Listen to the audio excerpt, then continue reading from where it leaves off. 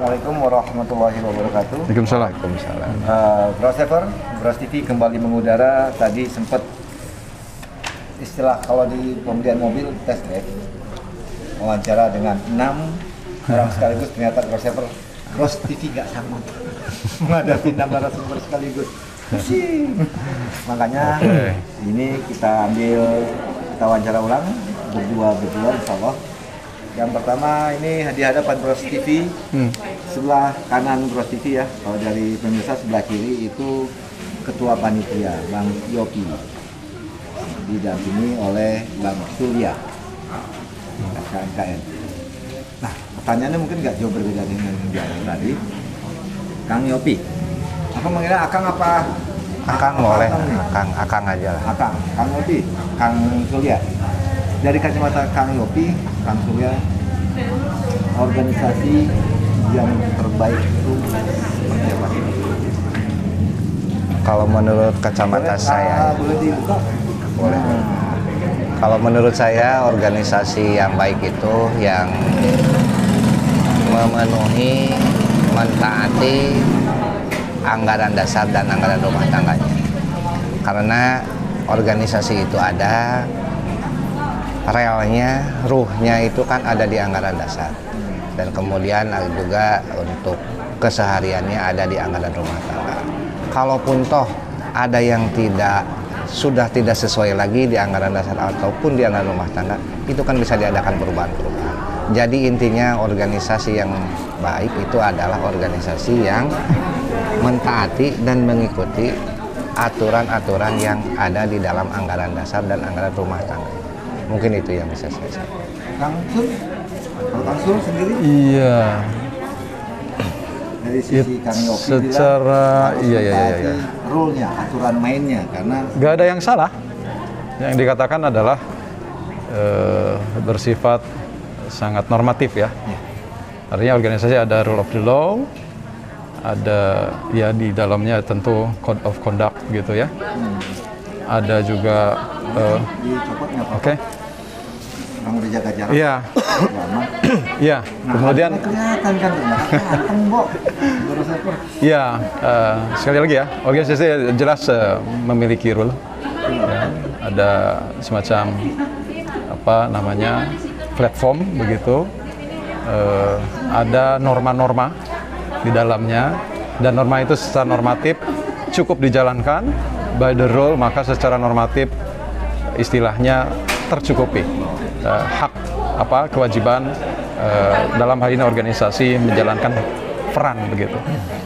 Saya ingin eh, agak melebar poinnya. Kenapa? Karena tentu organisasi itu ibarat rumah ya. Ya. Dan tentu rumah itu bagaimana penghuni.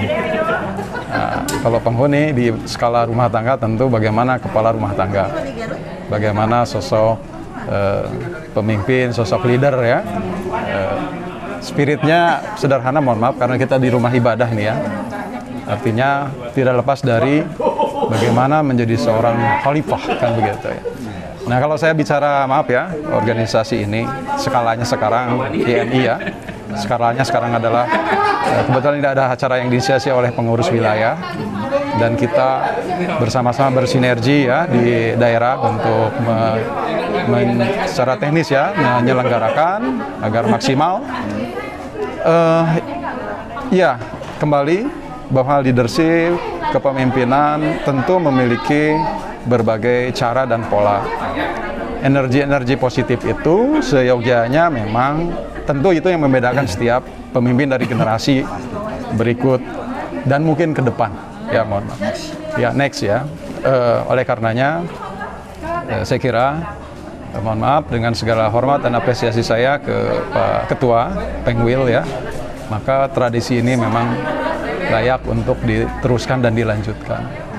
Memang mungkin belum sampai PP yang betul ya eh, turun mengaplikasi hal-hal seperti ini eh, mungkin dengan segala hal ya asumsi argumen kesibukan mungkin juga ada aktivitas tidak di sini di mana begitu tapi yang jelas eh, ya mohon maaf Pak Irfan eh, telah meneruskan tradisi yang baik berbagi dan ini dalam konteks Ramadan ya Dan saya harapannya memang di skala organisasi lebih luas ke depan, eh, tidak hanya konteks berbagi peduli dan aktivitas-aktivitas sosial, tapi juga bagaimana eh, keberadaan ya organisasi ini eh, nyata, ada, tidak hanya ada di tengah-tengah anggota, tapi juga ada di masyarakat seperti ini. Gitu. Nah, Ya. tapi kan kalau kita bicara organisasi kan ada ada tingkatan kan ya. Dari pimpinan pusat PP, kemudian turun ke bawah ada namanya pengurus wilayah, kemudian turun lagi ke bawah ada namanya pengurus daerah. Nah, masing-masing ini kan punya tupoksi sendiri masing-masing. Dari uh, PP mungkin tupoksinya seperti apa, dari Kang Yati, Pengurus seperti apa, Pemda seperti apa kan pasti punya peran masing-masing dalam artian juga kenapa sih ada PP ada Pengwil ada Pengda kan gitu dibentuk. Ya, nanti nanti Pak Pak Yopi nambahin saya ya. Mohon maaf. ya. Jadi intinya kalau menurut saya memang masing-masing punya tupoksinya sendiri-sendiri, tetapi karena ini kepengurusan berjenjang ya, dalam artian yang utama itu kan eh, pusat ya. Karena pusat, karena wilayah kita luas, maka untuk pengaturan ke wilayah-wilayah diserahkanlah ke dibagi-bagi lagi untuk ke wilayahnya masing-masing.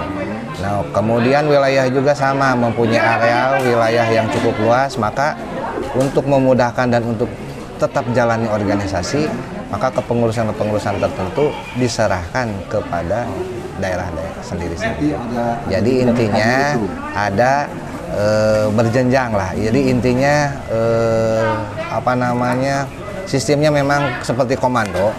Intinya tetap dari pusat, nanti ke wilayah, nanti ke daerah.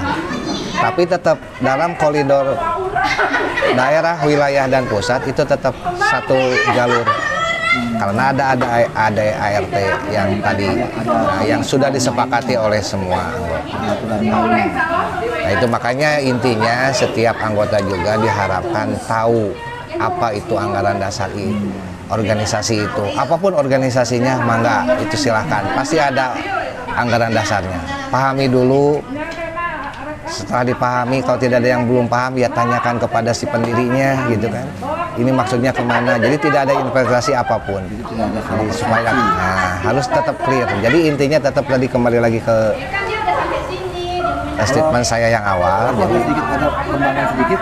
Kalau menurut peran aktif eh, perannya masing-masing apa kan? Dari PP itu perannya apa? Terus kemudian keterlibatannya sejauh mana, baik internal maupun eksternal. Pengwil bagaimana, Pengda bagaimana? Nah itu setahu saya kalau nggak salah untuk tupoksinya juga kalau nggak salah di ADART ada.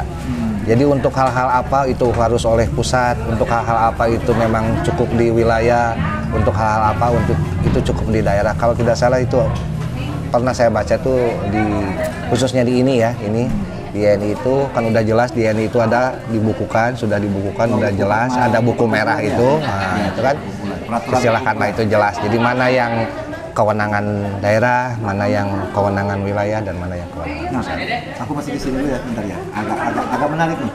Ada kewenangan pusat, kewenangan wilayah, kewenangan daerah. Kalau kalau nggak salah, saya juga sempat dapat bukunya yang yang baru, eh, yang lama, kemudian diperbarui di Kalimantan. Alhamdulillah saya sudah dapat dan saya sudah baca-baca iseng-iseng.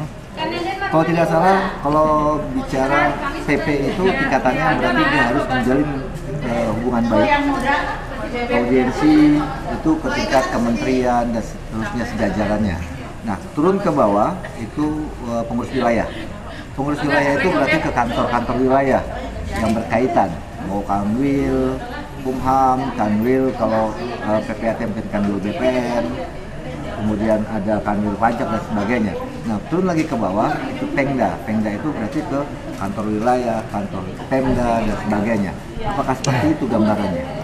kurang lebihnya seperti itu. Tapi intinya tetap tadi permasalahan apa yang bisa di yang harus ditangani oleh pusat. Nanti wilayah dan daerah mengikuti.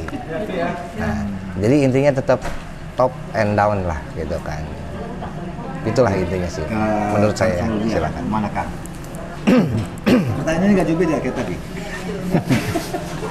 Kalau dia di- digabung tiga pertanyaan jadi satu.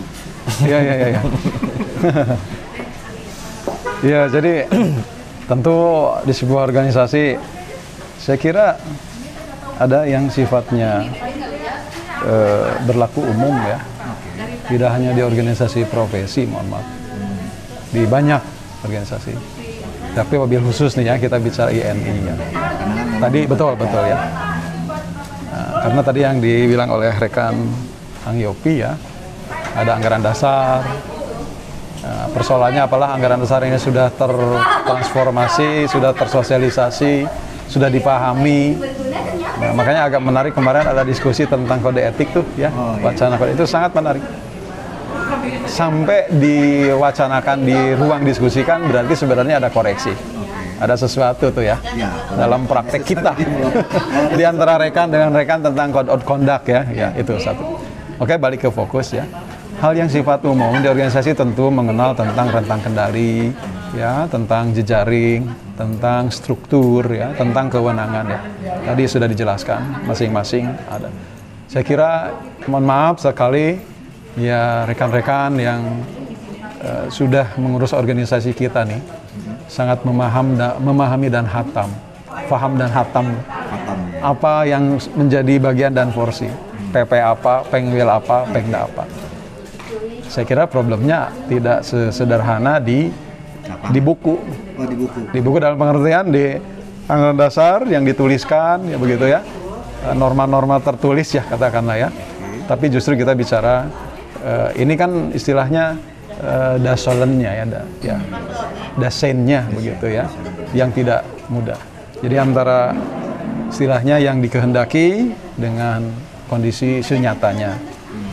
Nah, makanya saya kira mewujudkan ya, mengaplikasikan dan kemudian membumikan sekaligus ya apa yang ada dan tertera dalam tulisan itu ya uh, defense on leader. Saya tetap ya artinya mohon maaf Ka- karena tadi poinnya adalah ada kata kunci ya rekan Robi apa bicara tentang top down ya. ya. Memang ini dilema sebenarnya. Jadi di sebuah organisasi top down bottom up itu memang harus seimbang gitu ya. Jadi atas harus mau dikritik, di bawah memberi masukan gitu. Bottom up harus mau mendengar, tapi di atas juga mengaplikasikan apa yang sudah menjadi konsensus ya misalkan. seimbang ya. Nah bicara dengan top down itu adalah bagaimana itu teraplikasi, bagaimana sharing pembagian kewenangan ya tugas dan porsi itu nyata. Nah mohon maaf ya, Eh, ya mohon maaf saya tidak lebih dari 10 tahun belum apa-apa. Berpraktek lah mohon maaf ya. Tap- tapi melihat begitu. Belum 20 tahun, baru 10 tahun. lah karena yang lain lah ya dalam diri tentu ya. Artinya memang eh, tentu yang lebih sangat memahami dan mengetahui tentu kita sendiri. Jadi what's happening begitu with us ya. Apa yang terjadi sebenarnya? Eh, saya tidak katakan mohon maaf eh, sekarang ini dalam kondisi tidak baik. Saya sangat mengapresiasi dan baik hanya tradisi berorganisasi tentu harus melanjutkan yang baik dan untuk lebih baik lagi. Betul ya. Oleh karenanya penting sekali sosok ya jadi figur itu. Yang membawa ya membawa energi-energi memberikan apa namanya apa tawaran-tawaran atau apa namanya konsep-konsep atau ide-ide yang yang baru yang memang sudah teraplikasi yang dirasakan yang membumi yang nyata lah. Jadi tidak sekedar ya retorika konsep ide lah gitu Tapi sudah memberikan kerja nyata. ya Masih itu aja Kalau menurut Kang Yopi, kondisi saat ini seperti apa? Organisasi saat ini. Sepanjang saya tahu untuk organisasi ini, karena saya masih baru ya. Terus terang aja saya ini kalau dibilang junior tuh masih junior. nggak ada semua sama Tapi eh, apa pun itu namanya untuk kondisi saat ini ya untuk hal-hal tertentu memang cukup baik. Tetapi untuk hal-hal yang tertentu lainnya lagi lagi juga Perbaiki perlu ya. diperbaiki. Jadi intinya tadi apa pun kondisinya kalau hari ini baik maka yang ke depan itu harus lebih baik. Kalau hari ini kurang baik maka yang ke depan itu harus lebih baik lagi. Intinya apa pun kondisi hari ini ya inilah kondisinya pada hari ini. Tapi harapan tentunya semua anggota dan saya juga salah satunya mungkin ke depan harus lebih baik lagi. Melanjutkan yang sudah baik juga ya. Melanjutkan yang sudah baik harus lebih baik lagi. Iya. Itu intinya mungkin Ada bagi saya. dari, dari Kang Surya. Tadi sudah dijelaskan top up, top down, itu harus berimbang. Nah, ini kan tidak terlepas dari hubungan eksternal. Top up, top down itu pasti ada hubungan keluar, baik ke instansi, pemerintah, ke kampus misalnya. Karena kan kampus itu kan calon-calon notaris, calon-calon PPAT. Menurut dari kacamata Kang Surya atau Kang Yopi, posisi organisasi dengan kampus itu lebih bukan apa dibandingkan Iya, iya, ya, iya. Iya, iya, iya. tinggi atau pendek atau lebih mana lebih dahulu. Iya oke oke. Ah. Aturannya seperti apa sih? di dalam- Eh, iya ya. Jadi kalau memang menanyakan sesuatu hal di luar kapasitas ini agak sulit. Tapi harus berpendapat ya, begitu karena pendapat bebas ya gitu. Saya nggak pendapat. Ya mudah-mudahan istilahnya tidak keluar dari frame-nya lah. Saya kira memang begini ya, organisasi dalam hal ini PP ataupun Pengwil ya, eh, itu tidak hanya dihuni oleh organisator ya, tapi oleh beberapa rekan senior, beberapa dan hampir semua saya takjim lah ya, eh, pemikir lah ya, analisator gitu ya, analisis analisisnya juga baik. Menyikapi pertanyaan ini memang tidak mudah dan tidak sesederhana eh, seperti bertanya, menjawabnya yang sulit ya. Kenapa? Karena yang ditanyakan adalah tentang stakeholder ya. Ya, Jadi pelaku. Yang oh karena saya kan hanya melahirkan. Iya, iya, iya. Oh tidak dong, saya kan hanya menerima hasil. Tapi bagaimana Iya, iya. produksinya kan? Betul, betul. Ya, kenapa ya memang harus eh, agak sedikit analistis ya. Dan juga tidak kita jawab dengan simpel atau menyederhanakan. Saya kira mohon maaf ya, di pengurus juga pasti akan menjawab dengan sedikit argumen dan ya banyak diplomasi ya. Misal ya, eh, kenapa? Karena itu bukanlah satu produk ya semuanya kan rangkaian. Misalkan ya, bagaimana kita diproduk melalui sebuah sistem model pendidikan misal, yang melahirkan atau dilahirkan melalui perguruan tinggi ya. Eh, Nah perguruan tinggi ya silahkan dulu memang tidak semua membuka, katakanlah ya begitu. Kalau sekarang 44 ya. Betul ya. Nah, itu ya. Apakah itu juga dianalisa, dianalisis ya? Ya istilahnya dari sisi kajian-kajian teoritis dan praksis ya. Eh, dampak kebijakannya. Ya, itu ya eh, pertanyaannya. Memang saya bertanya balik memang artinya akhirnya ya. Kenapa? Karena akhirnya kan melahirkan, mohon maaf, eh, kandidat atau calon ya, yang secara akademis sudah punya kualifikasi, hanya untuk menjadi eh, berpredikat ya, eh, menjadi notaris kan tidak sederhana dan tidak mudah. Nah rangkaian-rangkaian berikutnya, eh, tadi katakanlah di produk, kemudian diproses, kemudian anggota. ya terlahirlah menjadi eh, apa katakanlah ke sebuah ruang profesi ya. Nah eh, rangkaian itu sangat kompleks saya kira ya begitu. Kembali ke kita kita sendiri juga. Ya, dalam pengertian ya, ki- representasi kita ya secara profesi kan ada di organisasi ya. Iya, iya. Jadi bagaimana organisasi memiliki relasi, hubungan-hubungan terhadap kebijakan. Ya, misal ya, regulasi kebijakan tentang eh, program studi misalkan, ya di Kemendiknas ya, Dikti misalkan. Itu kan tidak lepas dari misalkan ya eh, ruang diskusi, masukan, input ya eh, dengan organisasi profesi. Nah, kemudian eh, karena representasi kita ya ada di organisasi, bagaimana organisasi juga eh, apa namanya eh, mengawal ya proses menuju profesi Iya. kode etik misalkan ya ujian ya kode etik gitu UKN gitu kan dan seterusnya tentang magang misalkan dan seterusnya jadi ya saya kira ya kata akhirnya tadi yang Pak Yopi bilang ya rekan Yopi ada yang baik dan Dan perlu diperbaiki. betul yang sudah baik lanjutkan saja lah yang harus dievaluasi harus evaluasi itu aja. Nah, ah, yang perlu dievaluasi harus dievaluasi. Oke, aku aku agak agak agak setuju, ah, bukan agak setuju, setuju. Cuma kan gini, kalau melihat dari antara tingkat pendidikan atau perguruan tinggi dengan organisasi ketika berhubungan dengan stakeholder kan sama-sama berhubungannya. Eh, kampus berhubungan dengan pasti dengan Kumham juga, dengan Dikna, Dikti ya, Ya, betul. Dikti juga, organisasi pun demikian. Sedangkan kalau ngeliat dari muaranya kan muaranya pasti ke organisasi. Hmm. Ini kan berarti kalau melihat maaf koreksi kalau gross salah. Berarti posisi organis eh, kampus walaupun di bawah Kementerian itu di bawahnya organisasi berarti seperti itu. Kalau posisinya ya, posisi bargainingnya. Nah, pertanyaannya, Kang, perlu nggak diperbaiki ketika menjalin hubungan dalam artian eh, tadi karena kita bicara produk-produk notaris, produk yang notabene yang bakal jadi notaris, bakal jadi PPAT, ketika kampus akan mengadakan sebuah kegiatan harus menggandeng organisasi sama atau nggak perlu?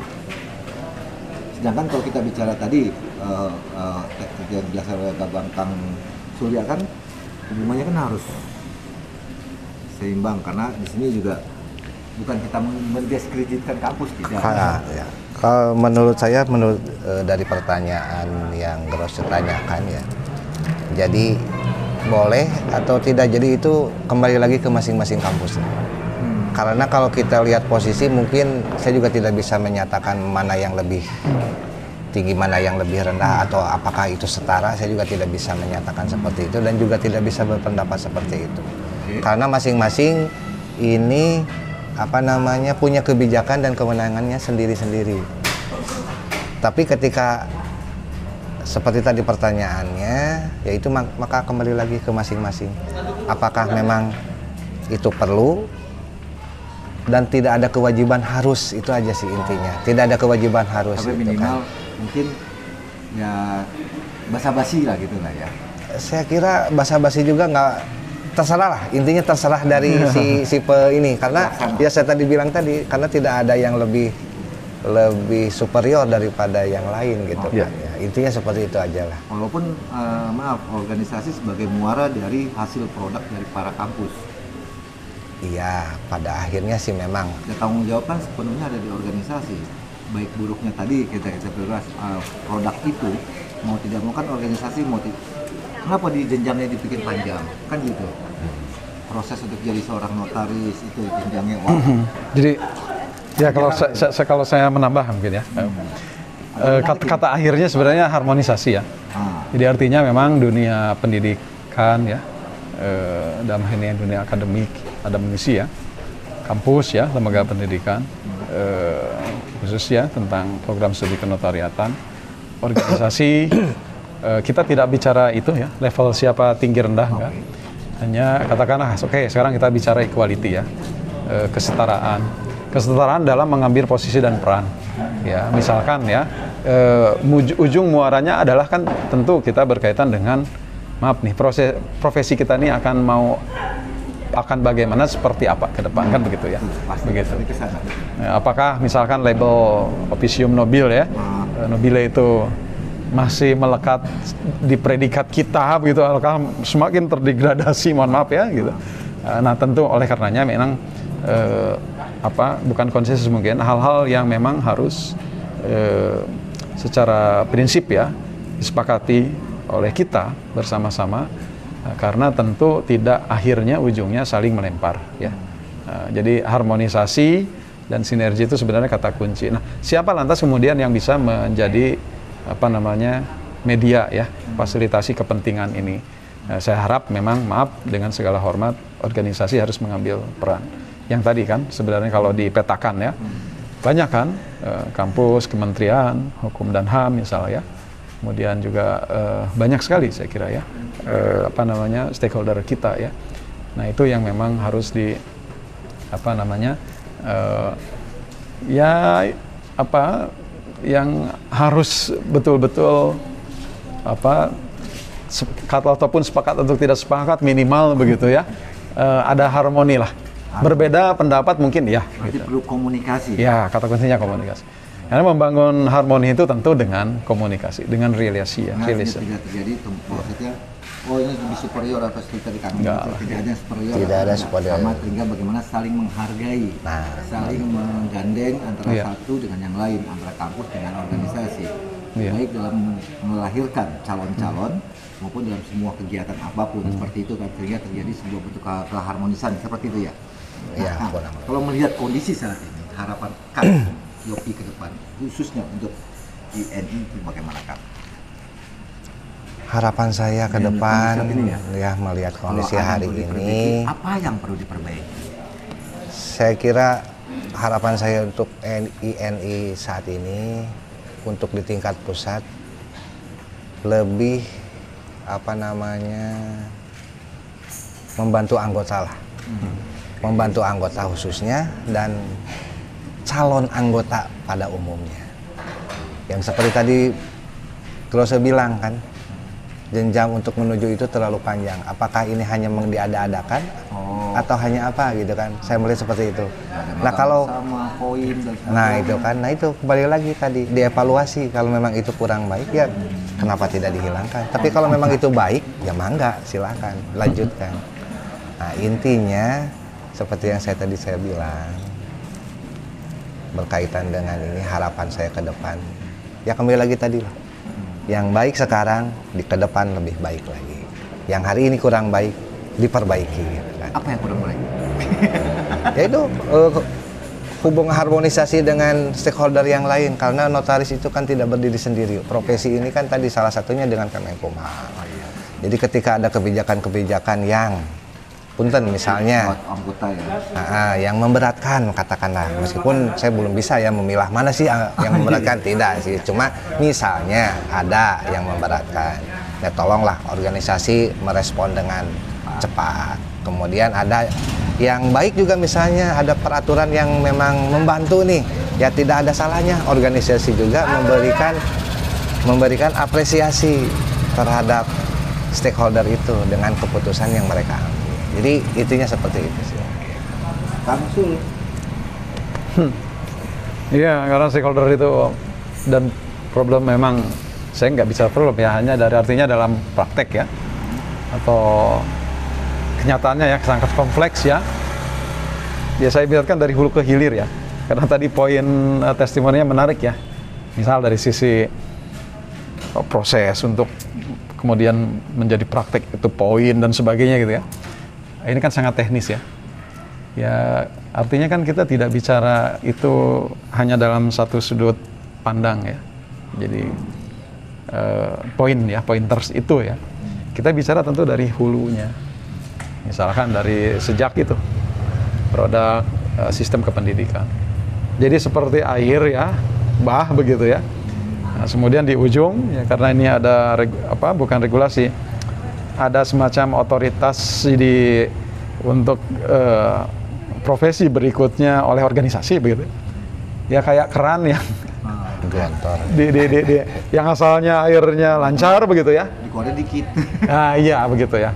Eh, tentu secara teoritis maaf ya, eh, secara hukum alam ya, arus air besar yang kemudian di ujungnya itu akan betul gitu mengecil ya, itu akan menimbulkan energi desakan dan kemudian bubble ya, istilahnya tekanan ya begitu. Tekanan yang lebih besar. dan itu yang tentu tidak dikehendaki ya artinya. Makanya eh, evaluasi bersama saya kira. Jadi artinya harus konsisten lah. Kalau dari awal memang istilahnya eh, dipermudah mohon maaf tentu harus mudah. Kalau dari awal dipersulit tentu agak sulit Maksudnya kalau di kamu di tingkat pendidikan sudah dipersulit untuk lulus, itu akan sulit juga.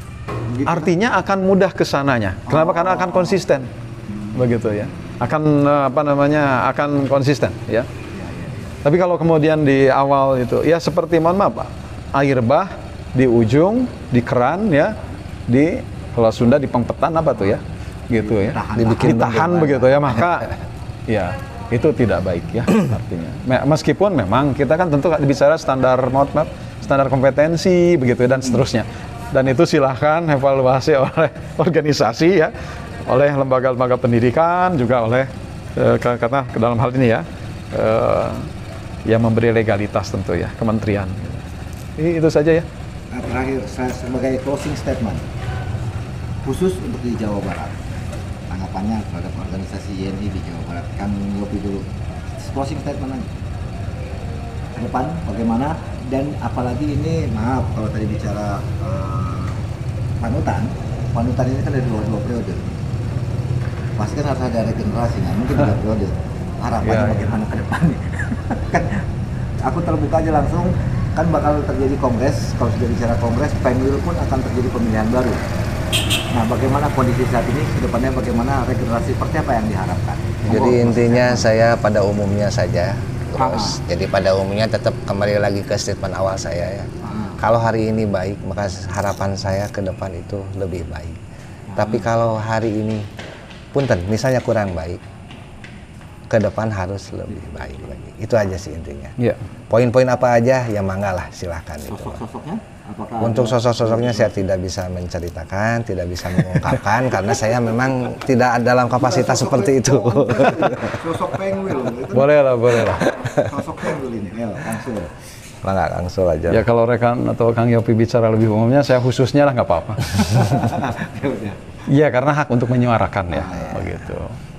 Artinya memang energi-energi positif ini dari sosok Kang Irfan ya, Pak Irfan.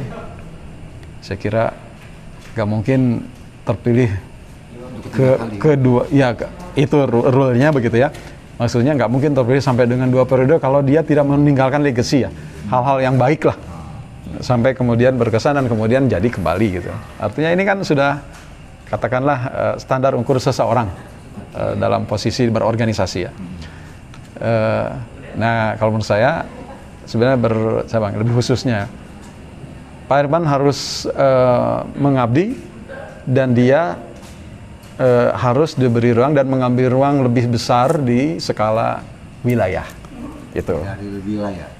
Harus lebih lebih besar harus lebih luas lagi. Beliau harus ke atas ya. Oh gitu. Ya itu ya untuk Pak Irwan mau jadi apa pun bagaimanapun diterima atau tidak ya. Eh, karena kita ini demokrasi luar biasa ya. Demokrasi langsung ya sangat masif dan massal ya. Ya biarkan kami yang memberikan testimoni. Ya testimoni lah katakan Eh, biarkan mengalir saja. Itu setuju. persepsi saya sa- secara personal ya ke sosok beliau. Untuk penggantinya karena kan tadi bilang kan dua periode nggak mungkin ke ketiga periode. Sosok pengganti, mohon maaf, saya kira ya. Eh, Pak Irfan sudah memberikan banyak ruang tuh di Jawa Barat ke generasi ya, yang baik selevelnya, eh, selevelnya itu pengertiannya banyak ya, baik di organisasi maupun dalam kapasitas profesinya ya, banyak memberikan ruang. Dan yang saya tahu beliau bukanlah sosok yang senang mendorong, senang eh, menghambat siapa pun orangnya. Jadi sangat clear ya ke orang-orang untuk eh, secara istilah dalam bicara kontestasi terbuka begitu ya. Termasuk untuk melanjutkan ya suksesor, suksesi ya beliau. Saya kira banyak lah ya. kehilangan Lah iyalah. Ya dalam sampai saat ini ya begitu. Tapi saya kira banyak lah. Ada sebenarnya harapan ya. ah ya Harapannya memang eh, saya kira tapi inilah antara keniscayaan atau tidak ya. Karena saya kira sempat nih di apa namanya di, di- dicoba ya di, di, di, di trial ya. Ketika Bu Elis ketua IPAT, dia mencoba mencalonkan menjadi ketua ini ya, INI ya. Saya kira bagus ide itu. Ya. Hanya ya artinya sese- seorang ya menjabat dua jabatan organisasi secara bersamaan ya. Ketika tidak ada larangan kenapa tidak? Ya, tapi siapa pun orangnya nih ya. Mohon maaf sekali lagi saya tidak bicara Bu Ose harus menjadi ketua INI misalkan punten ya. Enggak, tapi ya eh, misalkan ya atau sebaliknya eh, siapa pun kandidat ketua INI harus menjadi ketua IPAT ya. Tapi saya kira ketika tidak ada larangan why not ya? Itu. Yang penting sebenarnya spiritnya adalah menyatukan, membersamai ya. Itu. Nah, jadi maaf bukan bergeser ke di luar INI ya. Karena itu penting saya kira. berarti maksudnya organisasi itu ada benar-benar ada. Betul. Bukan berarti organisasi ada seakan-akan tidak tiada. Seperti Iya. itu. Oke deh. Bro Sever sebetulnya masih panjang banyak yang ingin, yang masih banyak yang ingin Bros Vivi tanyakan tapi berhubung waktu iya, iya, sudah iya. agak makin malam ini kayaknya perut-perut puasa Perlu diisi. Oke Bro Sever, eh, pemirsa Bros TV dan majalah Bros Digital sampai jumpa di wawancara dan liputan Bros TV NGD Assalamualaikum warahmatullahi wabarakatuh.